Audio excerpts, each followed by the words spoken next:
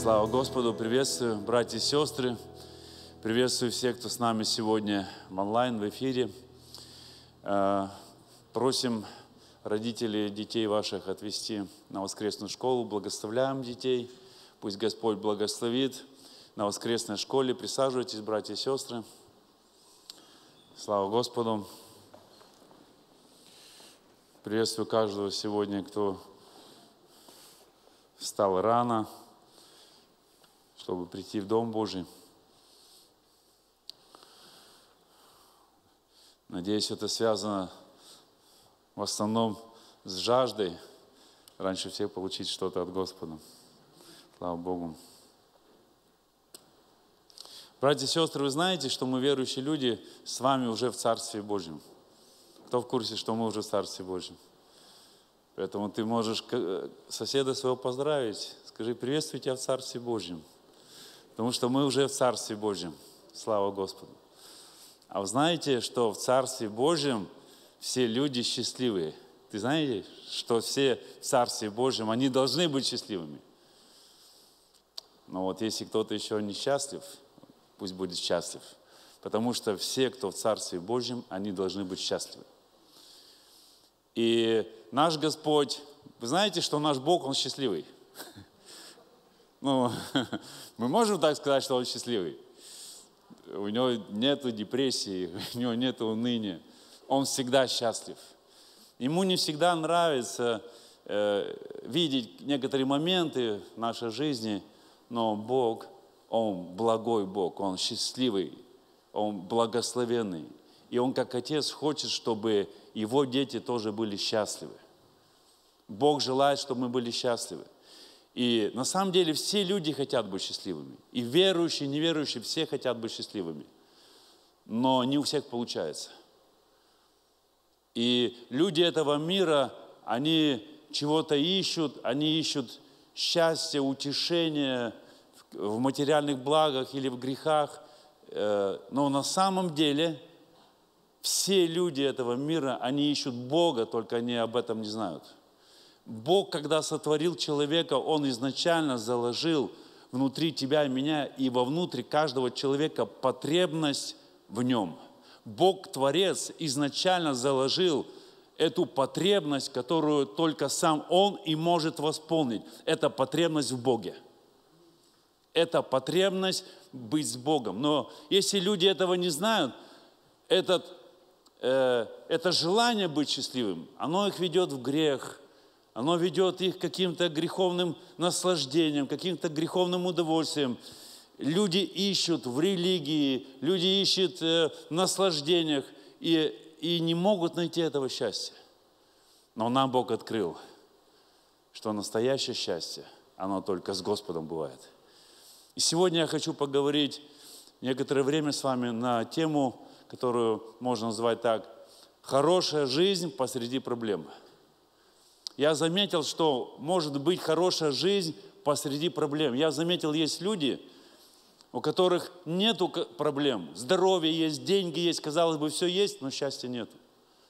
Это и неверующих касается, но, к сожалению, у верующих так бывает. А есть другие люди, у которых, казалось бы, проблемы есть. И с финансами трудности, и со здоровьем трудности, и какие-то проблемы, какие-то обстоятельства, но смотришь, а этот брат или сестра, он счастливый, благословенный. Я знаю людей в возрасте, которые переживают боли, э, непрестанные боли в теле, но когда с ними общаешься, они счастливы, они благословенны, они наполнены верой, они наполнены Духом Божьим. А бывает, разговариваешь с другими, казалось бы, все есть в жизни – все хорошо, а счастья нету. Нету света, нету радости, нету наслаждения, нету э, какого-то вот благословения. Поэтому я бы хотел, а я э, делюсь этой темой не потому, что я достиг. Уже я там преуспел и уже достиг, и уже... Э, но я стремлюсь, братья и сестры. Давайте стремиться вместе. Аминь. Откровение, книга Откровения, вторая глава, с 12 стиха. «И ангелу Пергамской церкви напиши, так говорит, так говорит имеющий острый с обеих сторон меч, знаю твои дела, и что ты живешь там, где престол сатаны, и что содержишь имя мое, и не отрекся от веры моей даже в те дни, в которые у, э, вас, где живет сатана, умершлен верный свидетель мой Антипа. Но имею немного против тебя, потому что есть у тебя там держащееся учение Валаама, который научил Валака вести в соблазн сынов Израилевых, чтобы они ели идоложертвенное и любодействовали так и у тебя есть держащееся учение Николаитов, которое я ненавижу. Покайся, а если не так, скоро приду к тебе и сражусь с ними мечом уст моих. Имеющий ухо слышать, да слышит, что Дух говорит церквям, побеждающему дать вкушать сокровенную ману, и дам ему белый камень. И на камне написано новое имя, которое никто не знает, кроме того, кто получает. Вот это одно из посланий к церкви, церковь в Пергаме. И обратите внимание, вот я читал, я обратил просто внимание, мне как-то запало это сердце, что особенность этой церкви, Господь дает характеристику, и здесь написано, что ты живешь там, где престол сатаны. Вы можете себе представить э, жить там, где престол сатаны? Вот ты живешь, ты думаешь, вот у меня такие соседи злые, сверху, снизу, э, справа, слева, Э, на лестничной площадке, наверное, у меня престол сатаны, вот где я живу, там точно престол сатаны. На самом деле, братья и сестры, мы не знаем, что значит жить там, где престол сатаны. И вот в Пергаме, э, это, это сейчас Турция. Многие из вас были в Турции, но если не были, ну ничего страшного. Но это сейчас Турция, Пергам. Или э, сейчас этот город там называется Э, Бергам. Пергамент, слышали пергамент? Вот это там изобрели. Но смотрите, что особенность, я почитал э, э, по истории немножко про этот город, что там это был в то время просто центр оккультизма идолопоклонства. Вот Пергам. Там, там каких только идолов не было. Но вот такие основные идолы, которым поклонялись, это были огромные храмы, огромные капища Зевсу. И там воскуряли и приносили жертвы, и были э, э, вот эти все жертвоприношения этому Зевсу. Также там э, Афиния, это, это как этот идол считался как бог мудрости. Тоже жертвы и религиозные ритуалы. Э, также вот мы знаем про Эскулапа, на самом деле – Э, правильно, Асклепис. Асклепий, Бог здоровья, да, мы сейчас знаем Искулап, да, Асклепий, Бог здоровья. Вот тоже там поклонялись, в храме там змеи были. И много-много разных идолов. И много было аморальности. Это тоже было связано с религией. Идолопоклонство и блуд рядом идут. Вот легко запомнить, идолопоклонство и блуд рядом идут, они все вместе.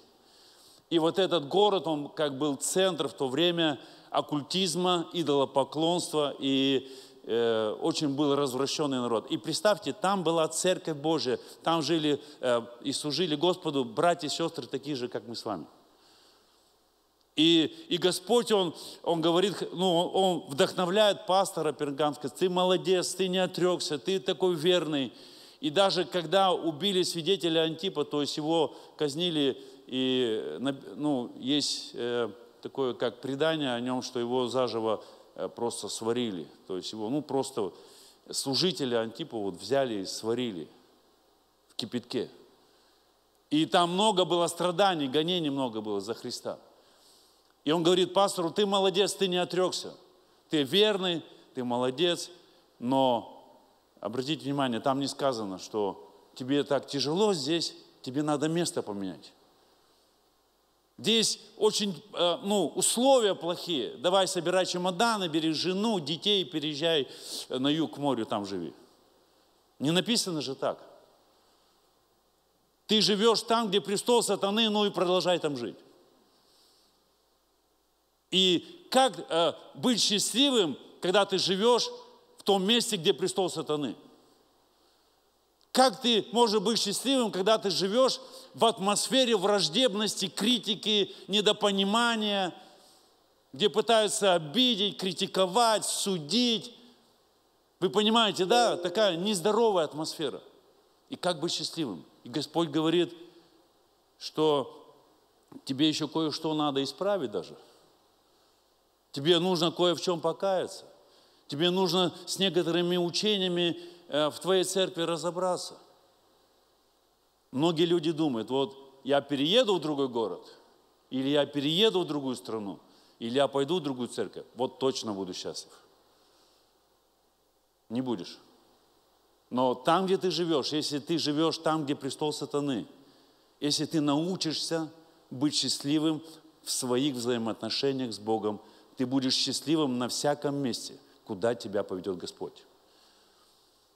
Поэтому там, где ты живешь, возможно, ты не будешь там жить всю свою жизнь. Возможно, Бог поведет тебя на новое место, потому что наш Бог, Он в движении.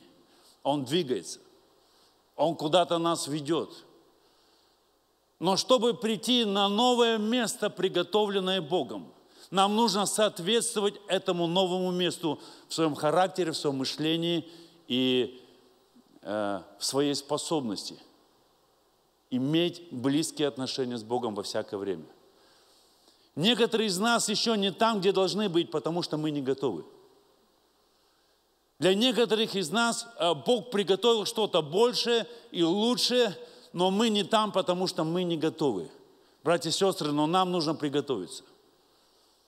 И мы можем приготовиться.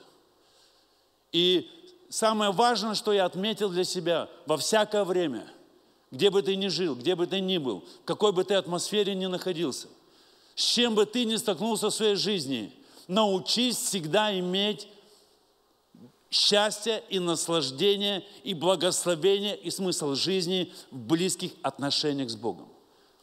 Я сегодня утром, когда молился, спросил Святого Духа, сказал, Дух Святой, что такое наслаждение? И Святой Дух сказал мне просто – близкие отношения с Богом и отсутствие греха. Это простое Евангелие, братья и сестры. Есть люди, которые имеют сверхъестественную способность взять простые вещи и усложнить их. Но Писание говорит, чтобы мы не уклонялись от простоты во Христе Иисусе, чтобы мы не уклонялись от простоты Евангелия. Евангелие нашего Господа Иисуса Христа, оно очень простое и понятное и доступное близкие отношения с Богом и отсутствие греха. И в этом есть, в этом есть наслаждение. В этом есть благословение. Поэтому люди думают так. Э, Яков пишет в посланиях, что вот люди так размышляют. Вот я поеду в такой-то город, я начну там бизнес, я там начну торговать. Яков говорит, ты не знаешь, что с тобой будет завтра. Наша жизнь – пар, который является на малое время. Нужно не так говорить. Нужно говорить, если Господу будет что? Угодно. Если будем живы и не умрем, да? Вот знаете, есть если и если. Если Богу угодно, и если мы не умрем, то тогда, если Господу будет угодно, поедем куда-то. И что-то будем делать, если Господу будет угодно. Но если человек живет так, его не интересует, что Господу угодно. Он живет эмоциями, желанием. Я хочу, я хочу, я хочу. Я хочу туда пойти, я хочу туда поехать, я хочу это делать. Не советуется с Богом, попадает в проблемы и не имеет счастья. Но я верю, что люди, которые Божью волю ставят на первое место, они будут иметь хорошую жизнь. Скажи, хорошая жизнь в любых обстоятельствах. Поэтому я не могу вам сегодня пообещать, что сегодня к вечеру все ваши обстоятельства изменятся, все ваши болезни уйдут, и все ваши проблемы решатся. Я не, пом- я не могу вам это обещать. Не могу. Но я вот что могу пообещать.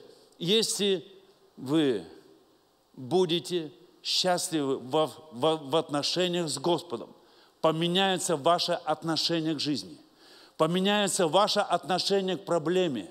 И эти ситуации, они начнут меняться быстрее. Начнется божественное ускорение. Когда мы читаем историю, не буду ее читать, но помните, ученики, они переплывали через озеро. И написано, что Господь вошел в лодку, и как только Он вошел в лодку, сразу же приплыли к берегу. Сразу же, быстро, мгновенно. Как только Господь приходит в твою лодку, Он приходит в твою ситуацию, начинается божественное ускорение. Эти процессы, они ускоряются и быстрее приходит ответ. Научись наслаждаться в отношениях с Богом. Научись наслаждаться своим христианством. Научись быть счастливым в отношениях с Богом и находясь в твоем призвании. Есть хорошая, благословенная жизнь на всяком месте, в кризисное время, в плохое время, в проблемное время. Если ты живешь там, где престол сатаны, ты можешь быть счастлив, ты можешь быть благословен, ты можешь иметь эти близкие отношения с Богом. Вы знаете, когда Бог сотворил Эдем – Помните, да? Ну, у нас еще не было, но мы из Библии помним. Эдем. Рай, Эдем. Знаете, как это слово Эдем переводится? Наслаждение. Скажи, наслаждение. И Господь сотворил этот Эдем, и Он назвал это место наслаждения – и наслаждение было не в том, что там просто было много деревьев, с которых можно было что-то есть. Это человеческий взгляд, понимаете, вот просто вот что-то поесть. Не в этом счастье, что там можно было поесть бесплатно. Не в этом счастье, что там бесплатно поесть. Не, не в этом счастье было. В чем, в чем заключалось наслаждение для Адама и Евы? что они могли беспрепятственно иметь эти близкие отношения с Богом до греха падения. А потом произошло грехопадение, они утратили это наслаждение. Они это место благословенное потеряли, но прежде всего они утратили наслаждение с Богом. Я скажу, может быть, богословски неточную вещь, но Адам и Ева согрешили до грехопадения. Вот было время, не было грехопадения, и до грехопадения они согрешили, и мы называем этот момент грехопадения. Но было время до грехопадения. И давайте мы ну, просто представим, а что если бы, было бы, если бы они бы не согрешили бы? Ну тогда бы, конечно, я бы я бы тоже так бы хотел бы жить бы. Но что было бы, если бы они не согрешили бы? Бог планировал для Адама и Евы следующее. Какая была заповедь? Плодитесь, что еще? Умножайтесь. Это все или еще что-то есть? Ухаживайте, возделывайте, плодитесь. То есть ходить в огород и, и умножаться, да, все. В чем смысл был жизни Адама и Евы? И наполняйте что? Всю что? Землю. Наполняйте всю землю. Бог хотел, чтобы Эдем распространился на всю землю. Бог хотел, чтобы эта атмосфера Царства Божьего наполнила всю землю. Бог желал распространить эти отношения по всей земле. Но скажешь, да нет, Бог изначально планировал грехопадение, и чтобы так было, и план искупления. Знаете, Писание говорит, мои мысли не ваши мысли, и мои пути, пути не ваши. Не сидимы судьбы Господа. Мы не можем просто взять и как бы за Бога решать, как должно быть, а как не должно быть. Бог изначально знал, что будет, но не все, что происходит, входит в совершенный Божий план. Вы, вы должны понять это. Потому что, э, когда мы говорим, вот Бог предопределил, Бог попустил, Бог допустил. Вот услышьте сейчас, вы знаете это, братья и сестры, ну услышьте. Бог дал, суверенный Бог дал человеку право выбора. И решение человека будет определять его судьбу. Не только Бог, но и выбор самого человека. Поэтому люди, которые верят в мистическую судьбу, вот что воля, что не воля, все равно это вот Бог допустил, попустил, вот, вот это так Богу э, угодно, видимо, было. Знаете, э, духовно звучит и красиво. Но на самом деле не все, что происходит в нашей жизни, является совершенной Божьей волей. Потому что Бог дал право выбирать тебе и мне. Поэтому говорю тебе, дорогой друг, выбери наслаждаться в отношениях с Богом. Избери наслаждаться не э, временными греховными наслаждениями, но выбери наслаждаться в отношениях с Богом. Выбери иметь смысл в своем призвании. Выбери не ту судьбу, которую тебе папа с мамой придумали. Выбери не ту мечту, которая тебе приснилась и причудилась. Выбери судьбу, которая от Господа, потому что эта судьба, она самая лучшая. Аминь. Аллилуйя. В притчах написано 29-26. Многие ищут благосклонного лица человека, а судьба человека на самом деле от кого? От кого? От Господа. Скажи, моя судьба от Господа. Братья и сестры, я не знаю, как вы. Я хочу судьбу, которая от Господа. Я не хочу судьбу, которая от меня лично, от плоти. Я не хочу ту судьбу, которая от папы с мамой. Я не хочу судьбу, которая от человека. Я не хочу судьбу, которая от политиков. Я не хочу судьбу, которая от кого-то, от дьявола. Мне не нужен ничей сценарий. Я хочу ту судьбу, которая от Господа. Потому что это лучшее, что может быть. Скажи аминь. Но на самом деле, если мы с вами изучаем Священное Писание, мы видим, что есть люди, которые вошли в судьбу от Господа, а есть люди, которые в нее не вошли. Есть люди, которые вошли, но не совсем, не так, как Бог хотел. И от чего это зависит? Это зависело от их решения. Скажи решение. Есть сила решения, есть право выбора. Это будет определять, дорогой друг, войдешь ты в судьбу, которая от Господа, или ты проживешь какую-то другую жизнь. Поэтому, когда мы принимаем решение, это будет определять. Правильное решение, оно приведет к правильным результатам. Неправильные решения, они отведут в сторону. Но в конце проповеди я скажу благую весть для тех, кто конкретно уклонился. Потерпите чуть-чуть есть ободрение для каждого. Но давайте быстренько вспомним. Адам и Ева, что им не хватало? Вот что им не хватало? Наслаждение с Господом. Но как-то что-то не оценили они, как-то что-то решили по-своему. Дьявол как-то обманул, обольстил, и они впали в это искушение – я хочу напомнить вам, они не были еще грешниками.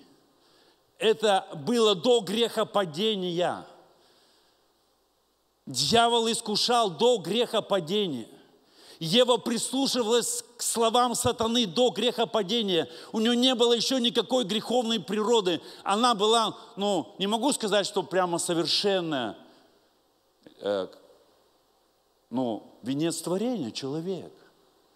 Мы даже не можем себе представить, как это быть до грехопадения. Но дьявол ее обольстил. И она впала в искушение. И она сделала неправильный выбор.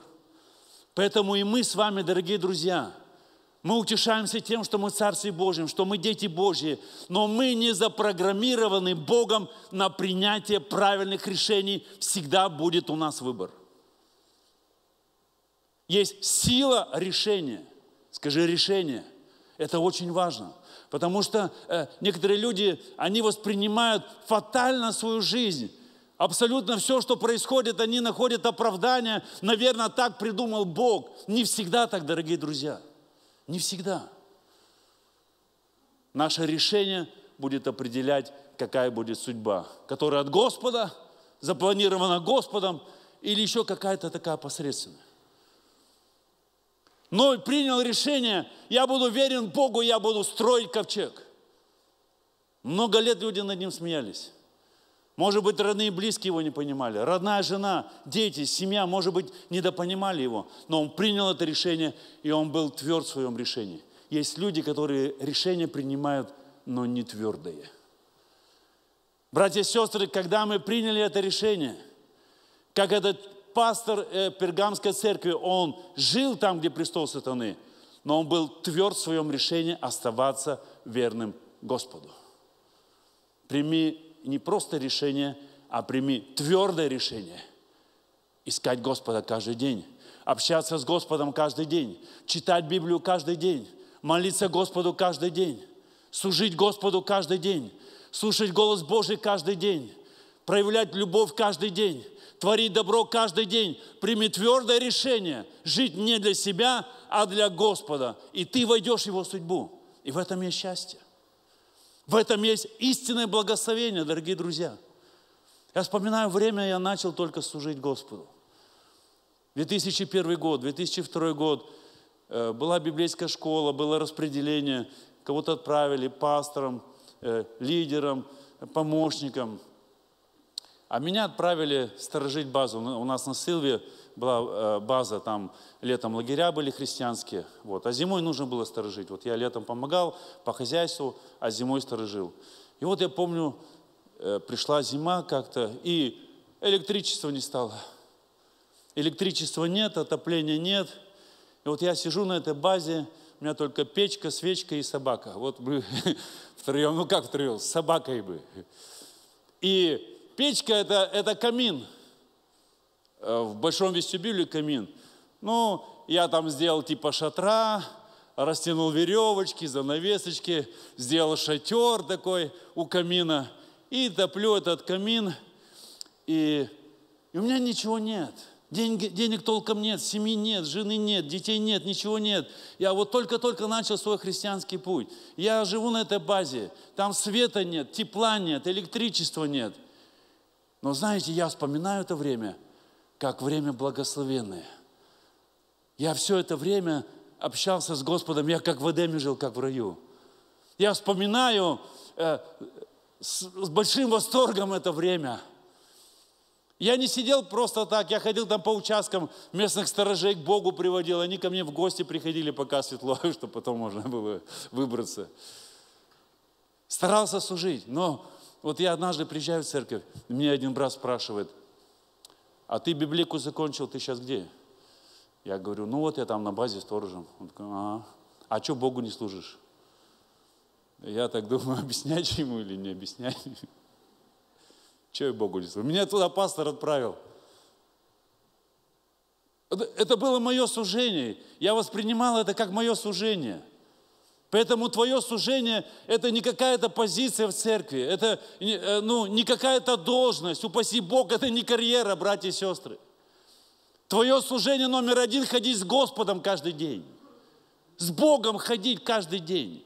Как Ной ходил, как Авраам ходил, и он вошел в судьбу, которая от Господа. Исаак и Яков, они вошли в судьбу, которая от Господа. Они не были совершенными людьми. У них проблемы были, трудности были, враги были, разные были ситуации. И падения у них были, но они вошли в судьбу, которая от Господа, потому что каждый раз они вставали, и они искали отношений с Богом. Иосиф, у него и яма была, у него и предательство братьев было, у него и тюрьма была, но Бог поднял его. Непонятные ситуации, сложные обстоятельства. Но он всегда искал отношения с Богом. И он вошел в судьбу, которая от Господа. Моисей уже в преклонных годах, он уже думал, ну, кто я? Я просто пастух, пасу овец тут у своего тестя Яфора. Он уже не помышлял о призвании, о какой-то великой судьбе. Ну, он просто жил вот этой обычной жизнью. И вдруг горящий куст, и вдруг Бог, он обращается к нему. Моисей даже не в курсе был, какая для него приготовлена великая судьба. Ты сегодня живешь обычной жизнью.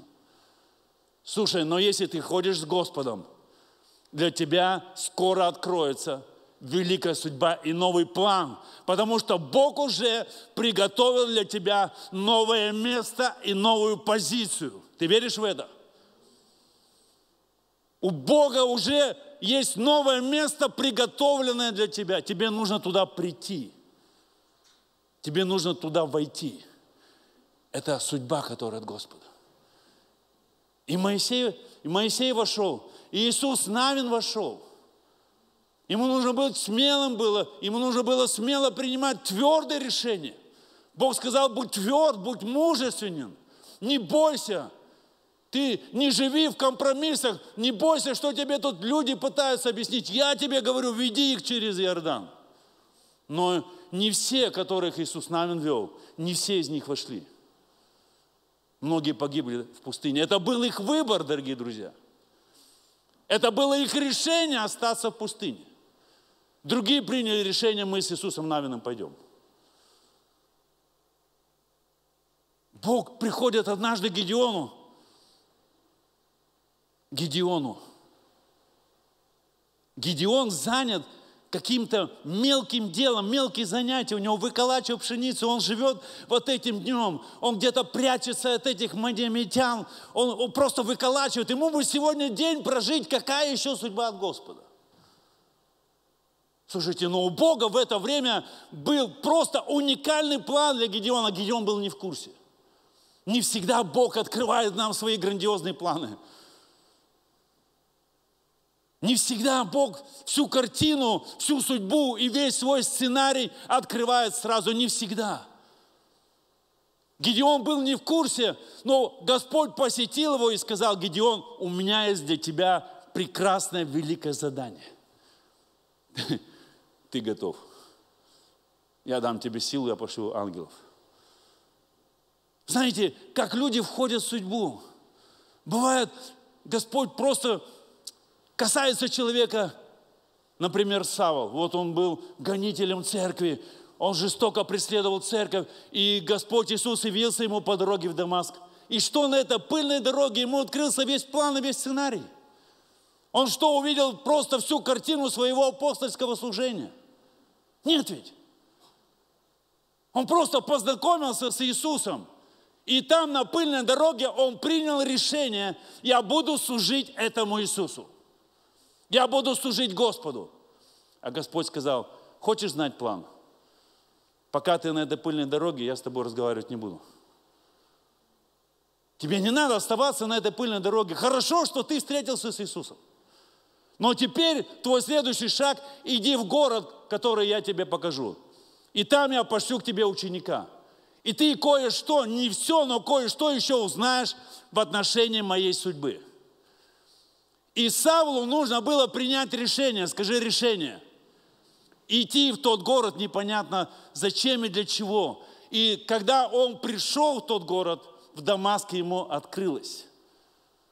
Следующий шаг, следующий шаг и следующий шаг. Братья и сестры, порой мы не видим всю судьбу Божью, мы не видим все планы Божьи но прими решение каждый день быть с Господом, и тебе будет открываться все больше и больше и больше. Не ставь на себе крест. Может быть, ты, как Гедеон, сегодня занят мелкими делами, решениями какими-то в своей жизни. Но если ты ходишь с Господом, Бог в свое время, Он откроет тебе то новое место, где Он желает тебя видеть. Но когда ты придешь на новое место, ты будешь уже другим человеком, потому что Бог ведет тебя таким путем, чтобы тебе измениться в мышлении и в характере.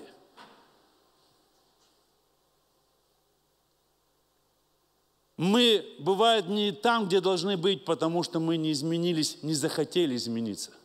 И Бог не может тебя вести дальше, пока ты не изменишься. Кто понимает меня?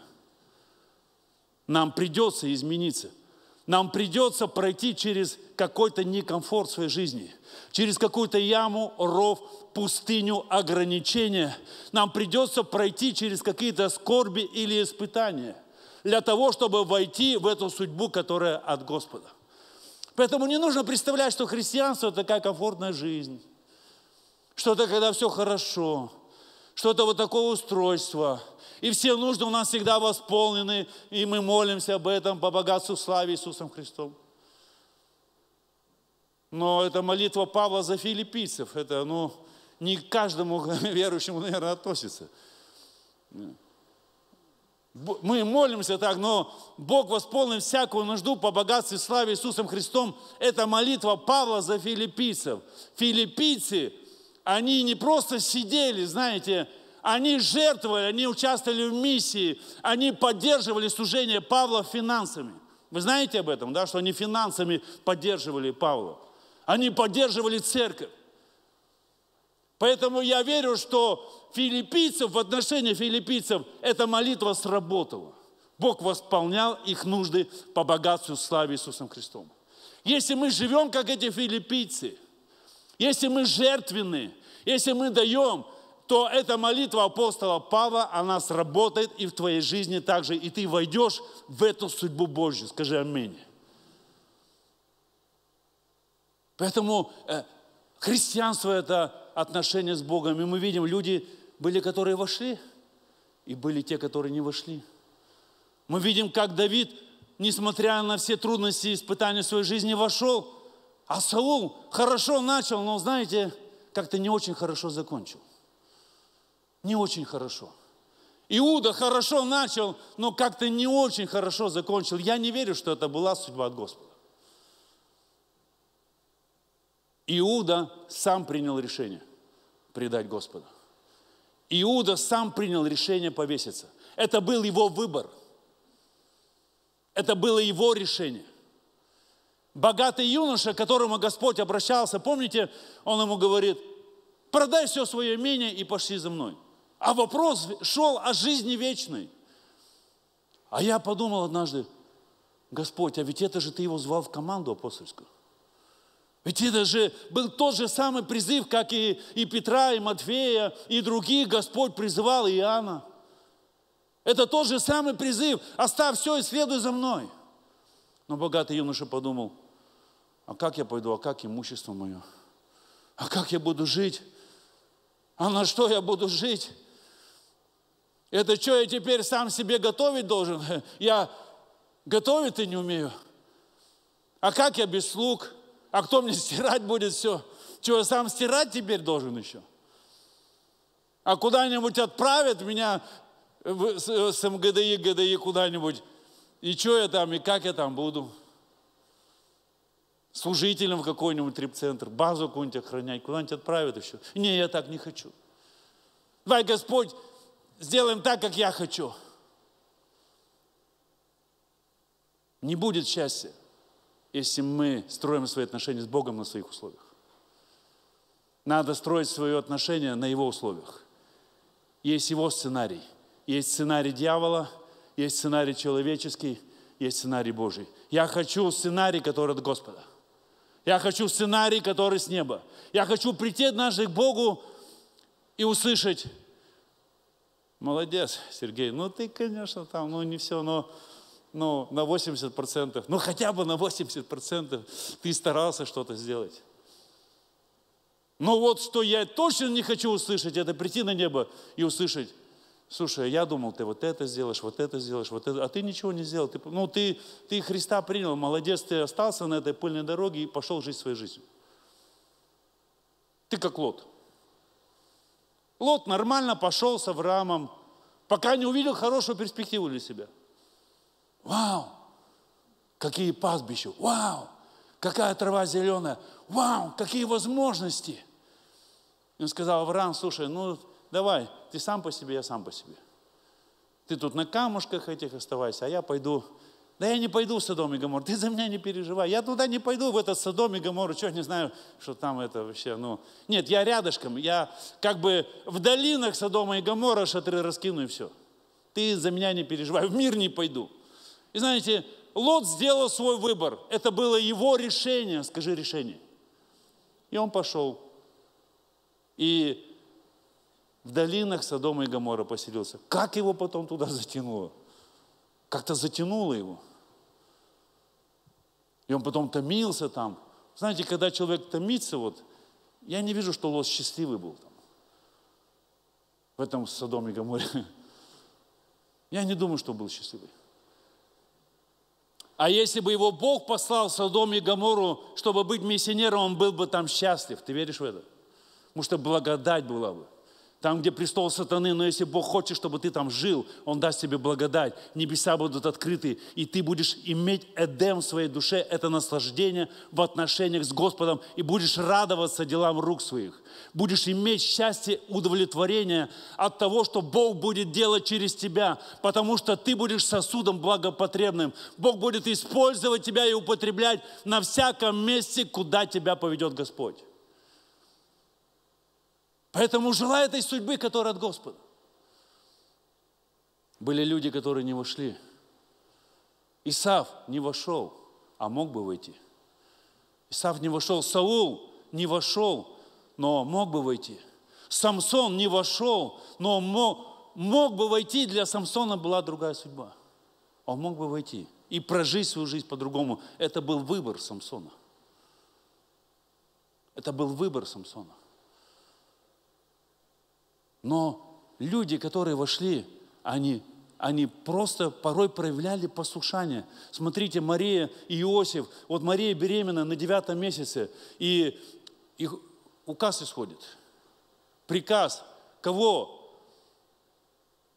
Императора римского. Это оккупанты, они оккупировали Израиль. И эти э, власти оккупантов издают указ всем на перепись населения срочно.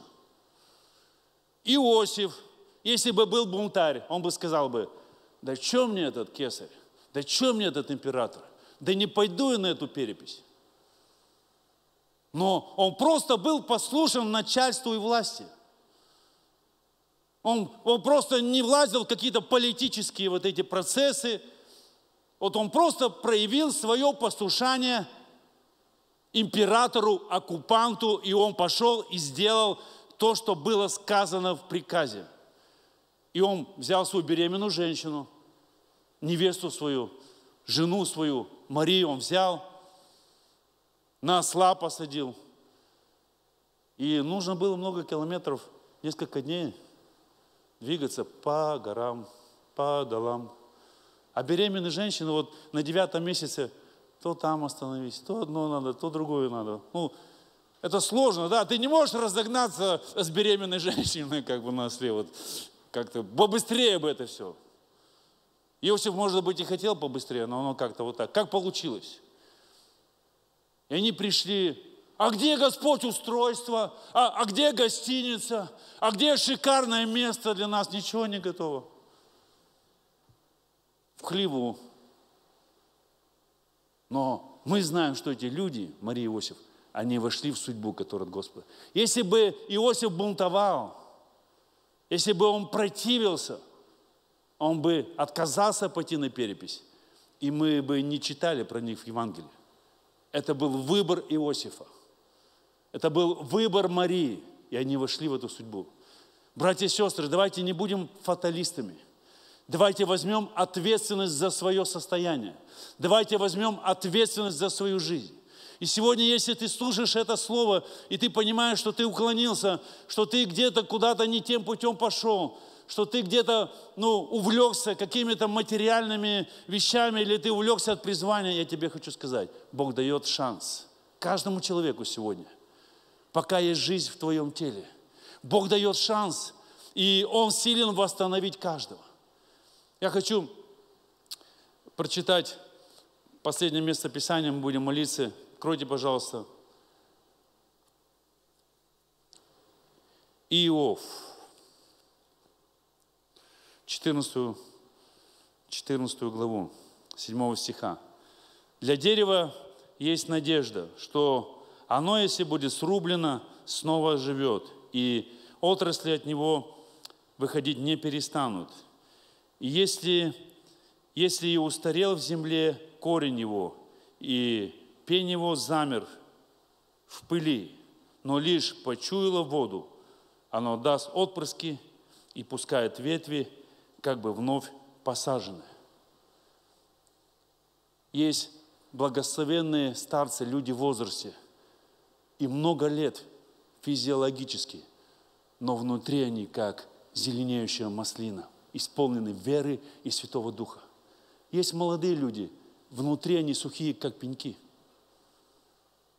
так вот, я обращаюсь сегодня каждому, кто чувствует внутри себя вот эту засуху, ты как это дерево срубленное и сухое. Знаешь, что нужно? Дух Святой сегодня говорит, тебе нужно почуять живую воду, и ты оживешь. Ты оживешь. Ты оживешь в своих отношениях. И, и вернется, вернется эта жажда, вернется этот огонь, и вернется это желание служить Господу. Это вернется к тебе, Бог тебя восстановит. Тебе нужно только почуять, почувствовать Его присутствие. Тебе нужно принять решение приближаться к Нему. Это новое время для тебя, приготовленное Богом. Это новый уровень Божьей славы. Это новый уровень служения для тебя. Бог уже все приготовил, и Он приглашает тебя сегодня, чтобы ты входил в эту судьбу, которую приготовил Господь. Господь сегодня приглашает тебя, чтобы ты вернулся. Не просто, ну да, я хотел бы, но прими это твердое решение. Пусть это будет смыслом твоей жизни. Войти в Божью судьбу. Пусть у тебя не будет никаких компромиссов. Может быть, этот мир тебя влечет. Твои заботы тебя влекут. Твои проблемы не дают просто тебе возможности служить Господу. Прими решение.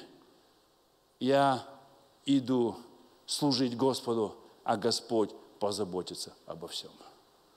Прими твердое решение внутри себя войти в судьбу, которая от Господа. Не копировать чье-то служение, не копировать чью-то судьбу, но войти в свои отношения с Господом и исполнить ту волю, которую Бог приготовил для тебя.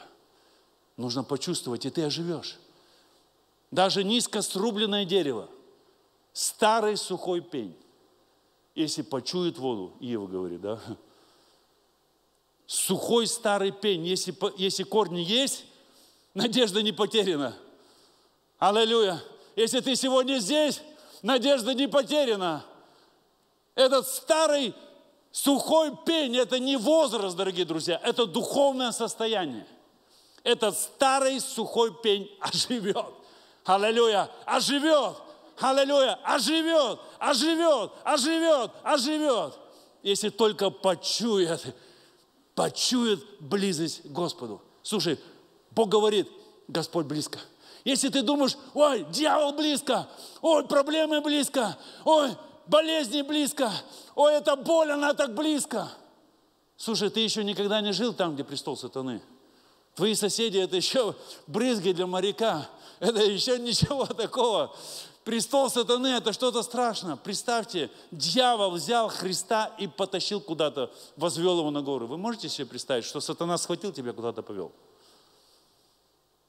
Послушайте, но когда тебе кажется, что дьявол близко, что бесы тебя оккупировали, что прямо тьма пришла, я тебе хочу сказать от Духа Святого прямо сейчас. Если тебе кажется, что дьявол близко, Бог, Он еще ближе к тебе.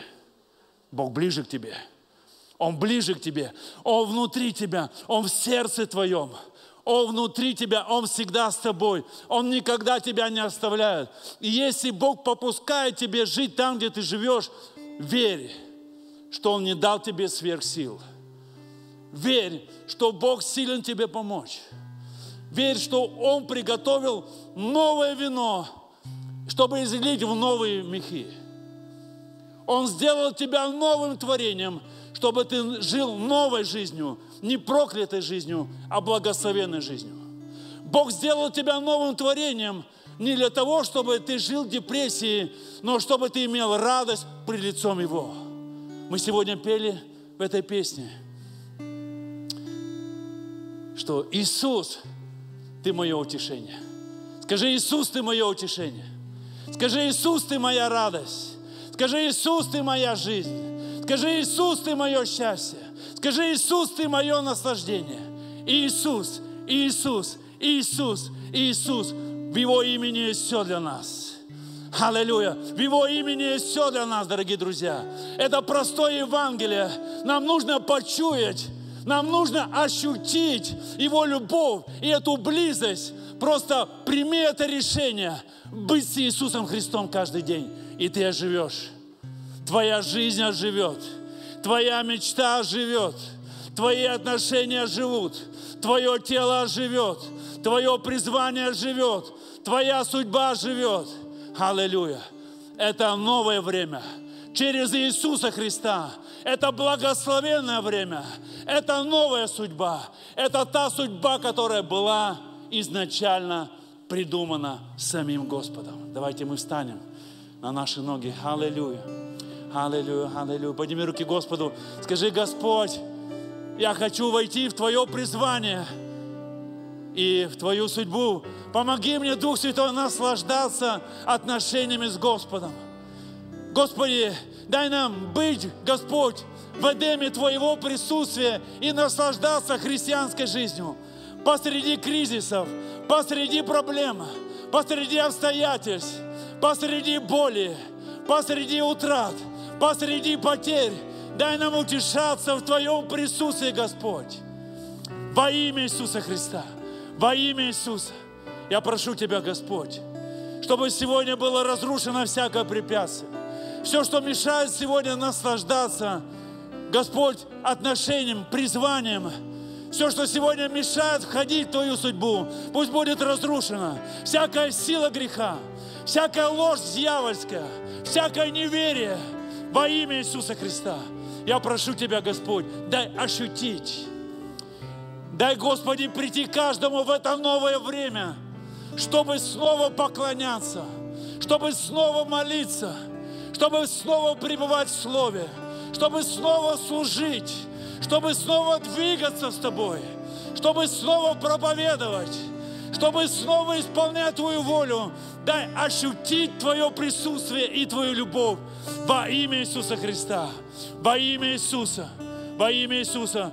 Пусть все сухое оживет, пусть чья-то вера оживет, пусть чья-то надежда оживет, пусть чье-то твердое решение оживет – Пусть чей-то выбор оживет. Тебе не нужно бросать судьбу от Господа. Тебе не нужно бросать призвание Господа. Тебе не нужно оставлять общение. Тебе не нужно оставлять семью. Тебе не нужно оставлять мужа. Тебе не нужно оставлять жену. Тебе не нужно оставлять церковь. Тебе нужно вернуться к отношениям с Господом. И ты оживешь. И снова будешь поклоняться. И снова будешь переживать Его присутствие. И снова будешь видеть, как Бог действует через тебя. Потому что Бог близко к тебе. Он не забыл про тебя. Через жертву Иисуса Христа все мы имеем доступ к Нему. Он любит тебя. Возможно, ты сегодня занят мелкими делами, как Гедеон. Ты занят мелкими делами, как Моисей. И ты даже не мечтаешь и, и не помышляешь. Но пусть сегодня это слово, это собрание, это будет временем посещения Господа. Пусть это будет временем, когда Бог через горящий куст говорит тебе. Пусть это будет временем, когда ты будешь принимать твердое решение следовать за Господом и служить Ему во имя Иисуса Христа. Аллилуйя. Аллилуйя, аллилуйя. Аллилуйя. Я хочу обратиться к тем людям, которые следовали за Господом, и вы оставили. Я хочу обратиться к тем людям, которые еще не принимали решение следовать за Господом. Однажды у одного человека было два сына, и один потребовал дать ему наследство и уйти, и он ушел, этот блудный сын, он все расточил, все имение, все потратил, он пришел просто к кризису своей жизни, и он осознал это, и он принял решение, сказал, я возвращаюсь. Послушайте, он не просто попросил у Бога прощения. Он не просто сказал, Господь, прости меня, что я так нехорошо поступил. Он принял твердое решение внутри себя. Он сказал, я возвращаюсь. Скажи, я возвращаюсь. И написано, он встал, и он пошел и вернулся к Отцу. Покаяние – это не просто осознать, что мы неправы. правы Покаяние – это не просто попросить прощения.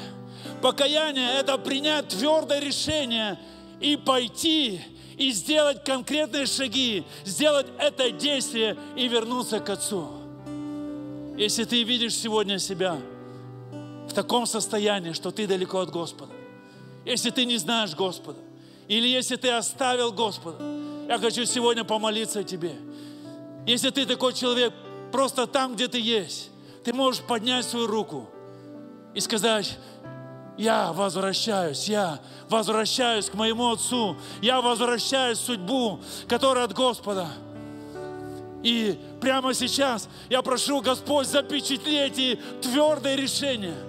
Я молюсь, Господь, чтобы в результате этого выбора последовали действия во имя Иисуса Христа. Во имя Иисуса, во имя Иисуса. Спасибо Тебе, Господь. Аллилуйя, слава Тебе. Благодарю, благодарю, благодарю Тебя. Пусть исцеление приходит, Господь, в каждое тело. Исцеление. Принимай сейчас исцеление. Принимай, принимай. Иисуса, во имя Иисуса. Аллилуйя, аллилуйя. Во имя Иисуса. Слава. Дорогие друзья, я хочу спросить, если есть люди, вы сегодня первый раз пришли, и вы хотите примириться с Господом, Христос еще не живет в вашем сердце. Если есть такие люди, Подними руку. Если ты первый раз пришел, ты еще не молился этой молитвой, но сегодня ты хочешь примириться с Господом. Хочу спросить, есть такие люди? Есть кто-то? Все спасены? Слава Господу. Слава Иисусу, слава Иисусу. Хорошо, давайте дадим Господу славу. Аллилуйя. Слава Господу.